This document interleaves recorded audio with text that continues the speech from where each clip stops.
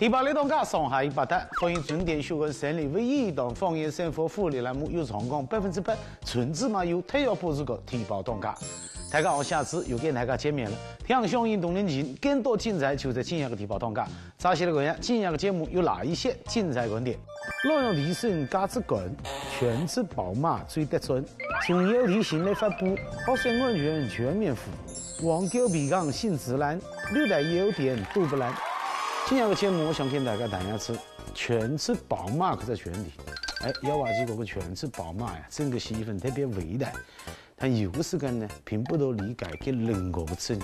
好多女性呢，为了家庭，为了新儿子，主动承担了这份责任。但是呢，经常是找不到意义跟价值观。希望今天的节目可以给宝妈们带来一些启发跟收获。Hello，大家好，我是心理咨询师盖卓老师。今天我想和大家一起来聊一聊大家都非常关心的全职宝妈如何提升自己的价值感。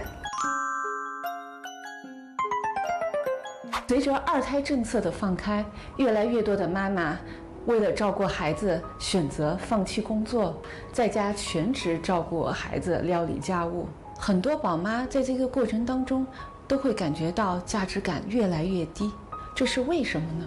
原因大致有四点。第一点，感觉付出没有被看见、被肯定。其实有时候只需要一句“你辛苦了”也就足够了，但是这样子的回应都没有，所以全职宝妈们就会感觉到价值感很低。第二点呢，就是丧失了与集体的一个连接感，比如和在职的同学朋友。出去聚会的时候，大家聊的话题可能有所不同。那看着朋友、同学在事业上发展都比较好，心里面难免就会有落差。第三点，害怕找不到工作。第四，把期待都放在孩子身上，会把对孩子的教育的成败与否作为判断自身价值的一个标准。如果孩子出现什么状况，比如说学习成绩不好这些。那特别是家人还责怪的情况下，他就会陷入一种自我否定，价值感也会越来越低。那如何提升全职宝妈的价值感呢？首先要改变认知，全职宝妈是一个综合性非常高的职业，它是集厨师、育儿师、心理咨询师等等一系列的职业与一身的职业，因此我们一定要觉得。我们对这个家非常的重要，你可以试着每天对着镜子里的自己说：“我很重要，我对这个家来说非常的重要。”第二点呢，就是寻求认同和肯定。诶，当我们做一个什么事情做得比较好的时候，我们不但要自我肯定，告诉自己我很厉害哦，还可以寻求老公和孩子的一个认同，让他们看见我们的付出。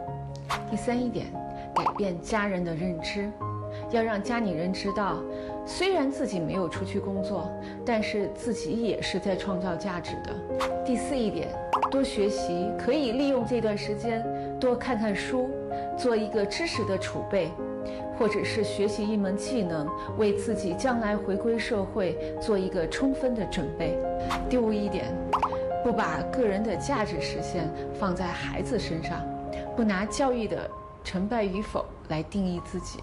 第六呢，我们要有一定的社交，比如我们可以和其他的全职宝妈一起出去玩，相互交流一下育儿经验，这样子孩子也可以有一个伴儿。有时候也可以和同学朋友一起出去聚一下，了解一下职场的信息，为以后再就业做准备。第七一点，与时俱进。平时我们可以多看一些新闻资讯，了解一下最新的社会热点、法律法规等，这样也可以和老公有一定的话题聊。总之，全职宝妈们，你们一定要知道，你们真的很重要，你们一定能够成为最好的自己。希望沙飞跟家人。能够给予全职宝妈多一点子理解跟鼓励，哎，看到了节目的辅助，电视机前的全职宝妈们，那么醒悟了啊！在忙碌个女儿生活当中啊，不要忘记了照顾好自己。好，休息下面进入广告，广告之后更多精彩内容，不要走开，马上回来。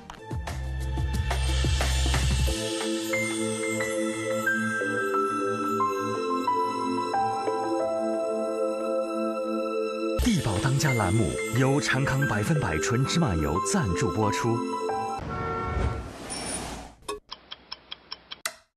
嘘，夜深了，总有繁忙的身影勾勒生活的轮廓，总有不懈的付出点亮城市的微光，点滴微光汇成光明。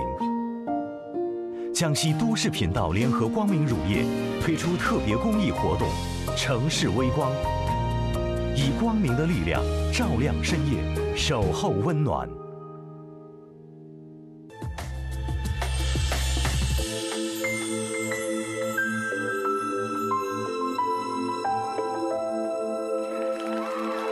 广告之后欢迎回来，思想万法同，青年带不同，好家好玩好广告都在提报通家。那个现在的家长啊，特别重视培养自家的个性格子，啊，让小朋友参加各种培训呐，各种兴趣班呐。其中以身体训练为主的培训啊，出现过个儿童伤害的事件，也是经常看到。哎，我们国家教育部发布了五不要重要提醒，各位家长们一定请注意。近年来，学习舞蹈等过程中因下腰等动作导致儿童脊髓损伤的事件屡见不鲜。针对舞蹈、体育等身体训练为主、较易出现伤害风险的培训活动，教育部作出安全提醒：五不要。不要在无安全保障的情况下进行培训。孩子培训需要相关专业防护。在亮面瓷砖和水泥地等场地进行训练，未充分热身整理进行训练，无保护进行高危险性训练，疲劳状态下训练等，会增加孩子受伤风险，应该避免。不要过早对孩子进行过强柔韧训练。孩子身体发育过程有不同阶段，需科学练习。过早过强的柔韧性训练可能产生孩子器官发育不良、肌肉发育缺陷等问题。不要过度对脊椎和腰部做外力挤压，孩子存在个体成长差异，过度进行外界受力、按压、拉伸等关节、脊椎、韧带训练，可能发生骨骼错位变形、关节疼痛等，严重的会影响骨骼生长和发育。不要做过高难度系数的训练，练习身体腾空翻转、下腰、掰腿、劈叉等动作，需要系统化的专业训练基础，并在专业人员指导和成人看护下进行。不适合初学者和非专业人士。专家建议，未满十周岁的儿童慎做下腰等脊椎、腰部身体训练，避免出现伤害。不要让孩子练习与身心健康不符的内容。教学表演内容应符合不同年龄段孩子的身心发展特点。所选作品避免出现暴力、血腥、色情等少儿不宜的内容。要积极培育孩子向上、向善、向美的力量。此次安全守护专项行动也提醒家长要理性看待校外培，训根据孩子自身兴趣爱好、年龄特点。身体状况等综合考虑是否参加培训或选择哪种培训项目，不盲目不跟风，要随时关注孩子身体情况，如有不适切勿勉强坚持。我们其实最应该关注的是科学的训练方法，嗯，比如说我们运动训练学里面会有，嗯，从易到难，或者是循序渐进。比如我们举一个最简单的例子，就是小孩的这个下腰。正常的科学训练呢，可能我们先是扶着把杆儿进行压肩压腰练习，然后呢是老师辅助的向下的下腰，然后呢孩子躺在地上自己撑起来，然后最后呢才是。嗯，在老师保护下做一个大幅度的一个完整的规范的下腰的这么一个动作。另外，王莹教授建议，七到十二岁是柔韧素质训练的关键期，掌握科学的训练方法至关重要。在七到十岁之间，我们进行柔韧性练习的时候呢，我们一定要注意的很重要的一点就是，这时候孩子呢，他的其实关节结构跟成人是一样的了。但是它的那个关节囊比较薄，然后关节周围的韧带相对松弛，但是它的那个固定性非常差，所以说当您给它大强度训练的时候，它就容易出现，嗯，撕拉，嗯肌腱受伤，所以呢，我们要控制好这个强度。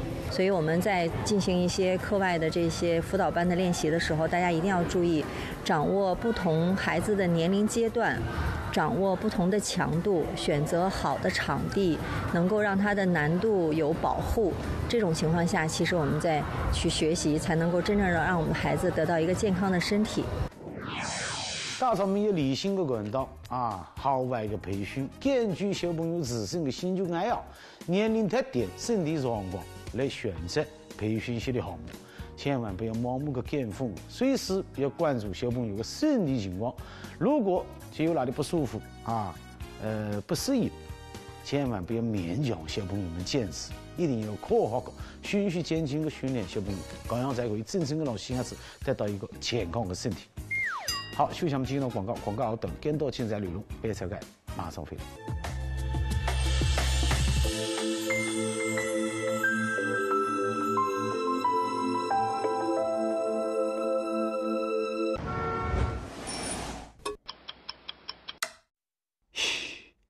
夜深了，总有繁忙的身影勾勒生活的轮廓，总有不懈的付出。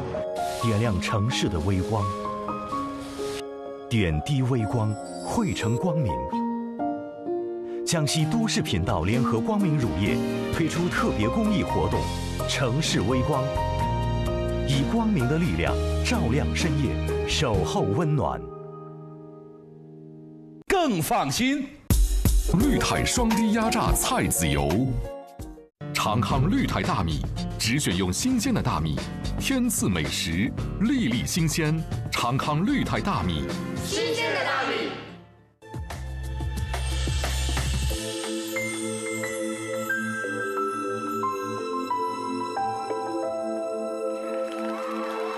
呃，作为一个普通消费者，黄酒能用必康。哎，我们先来看下双十一大家踩过个坑，再来重新玩这个话题。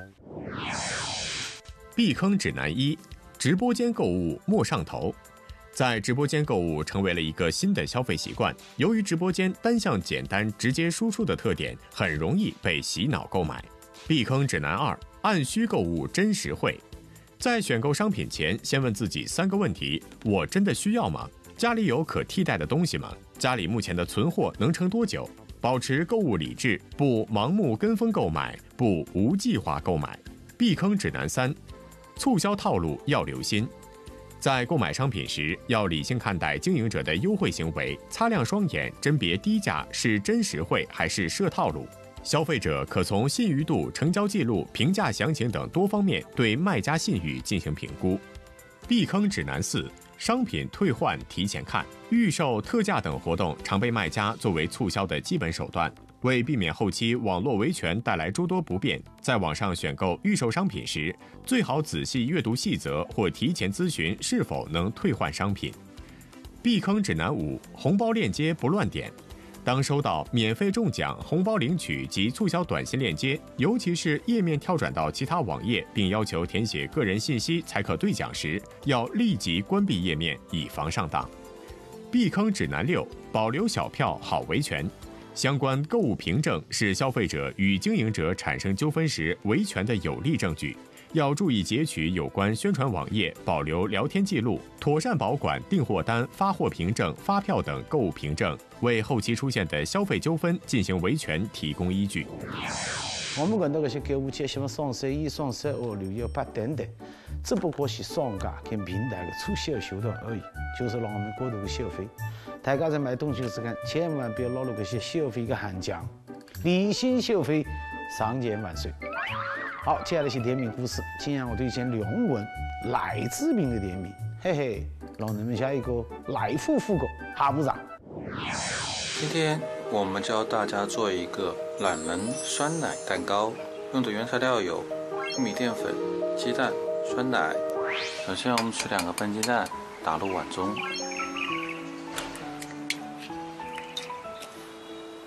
将鸡蛋打成糊状。接下来我们取十五克玉米淀粉，然后将玉米淀粉倒入碗中，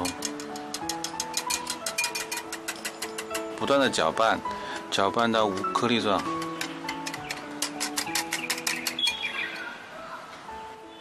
接下来我们倒入两百克酸奶，我们也将它搅拌均匀。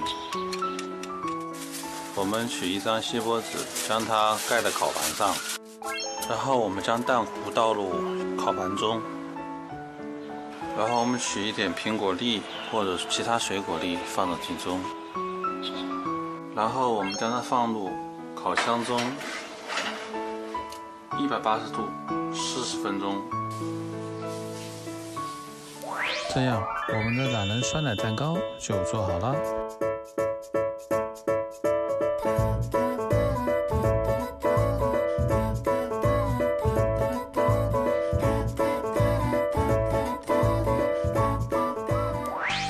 我们教大家做一个桂花炖奶，用的原材料有牛奶、鸡蛋、糖、桂花。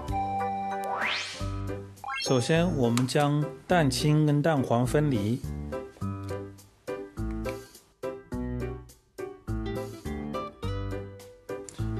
然后倒入一百克牛奶，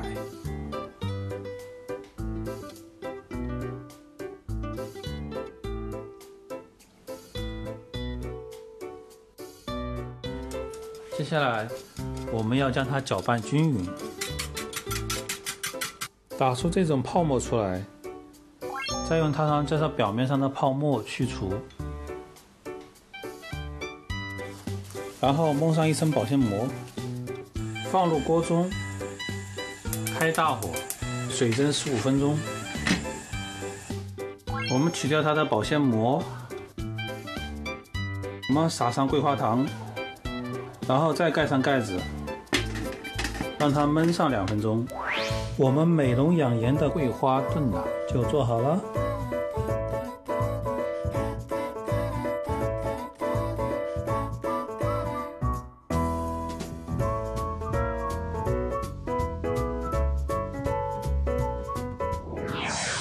来向龙鱼做法简单，高蛋白低脂肪，或者秋冬季节的寒凉甜品。老人在一个温暖的下午，一定要邀上那个闺蜜来赏一赏那个休日，这么绝对有啊，恰佳。好，接下来是宝宝辅食的时间，今天我们要注意啥？会锻炼宝宝的咀嚼力。哎，营养丰富的西红柿牛肉面。西红柿牛肉面所需要的原材料非常简单。首先，西红柿剥皮、切丁，然后锅中倒油，将切好的西红柿丁倒入锅中，充分搅拌，放一边备用。在煮开的锅里放入宝宝面，倒入刚煮好的西红柿，再放入芝士。充分搅拌，不一会儿，西红柿牛肉面就做好了。周末秋龙上一碗汤是浓郁、酸酸又开胃，热气腾腾的番茄牛肉面啊！宝宝下问的以后，一定可以吃出那满满的爱意。好，接下来是美味家常菜，马上登上桌。今天我们要注意啥？外焦里嫩，脆皮鸡，大家爽一爽，绝对没有在外面所有的炸鸡。原材料有三黄鸡一只，葱段、姜片、蒜片、洋葱片、香菜、辣椒粉、五香粉等调味料。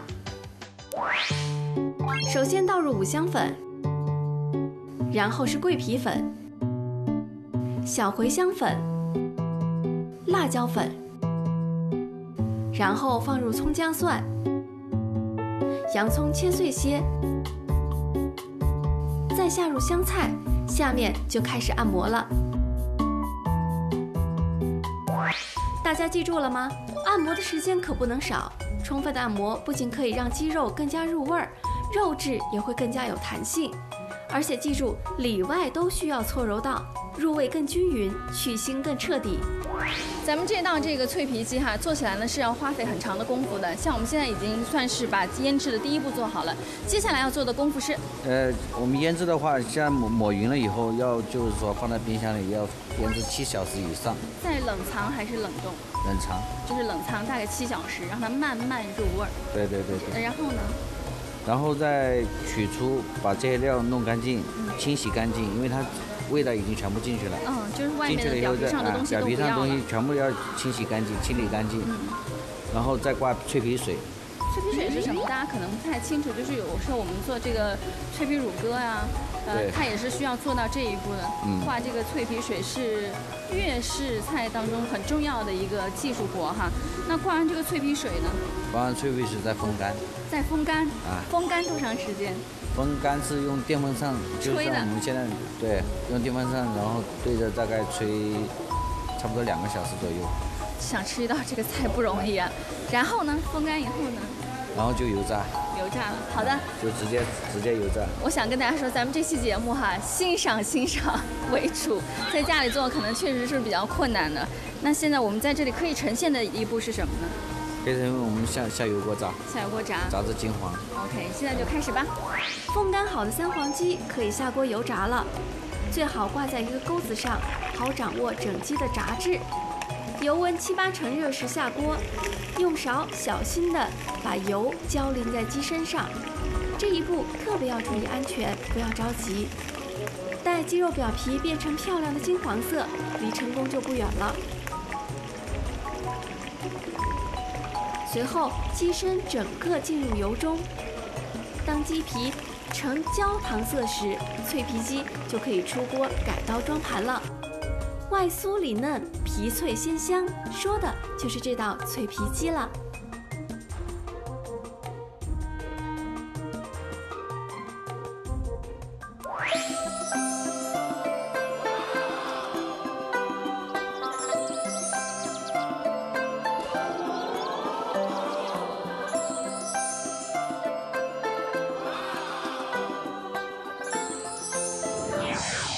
复杂的步骤，也没有些所谓高端的调味啊，只要一点点是耐心跟时间，那就可以拥有一张皮脆肉嫩、鲜美多汁的脆皮鸡。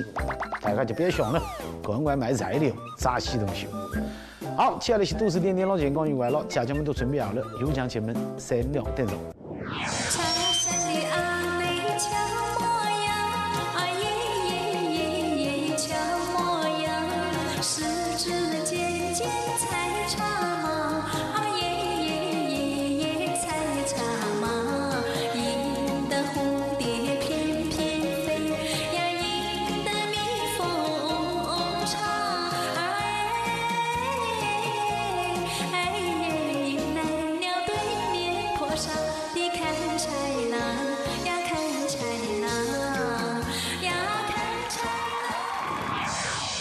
其实舞蹈跳的弄样并不重要，最重要的是家长们他们个健康跟快乐。我们都特别喜欢你们各种状态，还有你们脸上的笑容。希望下一场节目还能看到你们，加油！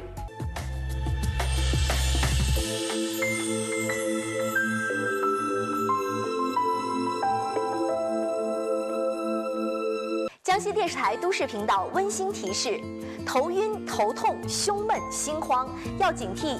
粘稠的血液正在堵塞您的血管，请及时清血。血液清，血管通，心脑才好。经常头晕头痛，要清血；经常胸闷气短，要清血。用清血八味片。血液粘稠，堵塞血管，导致心脑缺血，引发头晕头痛、胸闷气短。容易堵了心和脑，清血八味片二百七十余年清血古方，作为一种治疗高血粘导致心脑缺血、引发头晕头痛、胸闷气短的药物，荣获国家专利。清血八味片助您血液清、血管通、心脑好，头晕头痛要清血，胸闷气短要清血。清血八味片认准猛奇牌。秋冬进补，来年打虎，买正宗地道滋补佳品。十一月三十号到十二月十二号，就来江西二套第六届滋补养生节，媒体搭台，产地直供，正品保证，假一罚十。八十头文山三七，每斤仅需九十九元。西洋参每克五毛九，铁皮石斛每克一块五，印尼进口燕窝每克九块九。江中大品牌灵芝孢子粉，买一盒送一盒。都是严选的东西货真价实，质量很有保障，服务也好，价格实惠，品质好，杠杠的。买滋补品就到都市严选，我们信任都市严选。地址：南昌井冈山大道飓风大厦一楼都市严选，原九四医院正对面，景德镇新桥十字路口都市严选，华润万家对面，九江江中灵芝都市严选，长虹大道六零三车队公交站旁。人生如戏，戏如人生，再好的本事也要靠个好身体。腰疼、腿疼、腰膝酸痛，痛啊！舒筋健腰丸，专药专治腰椎间盘突出引发的腰疼、腿疼、腰膝酸痛。舒筋健腰丸配方专，传承陈李济四百年制药精髓，药材好。黑老虎牛大力十三味药材，舒筋健腰丸，强筋骨，驱疼痛，专药专治腰椎间盘突出引发的腰疼、腿疼、腰膝酸痛，舒筋健腰丸。对的，广州白云山陈李济，国粹中药，匠心传承，四百多年了。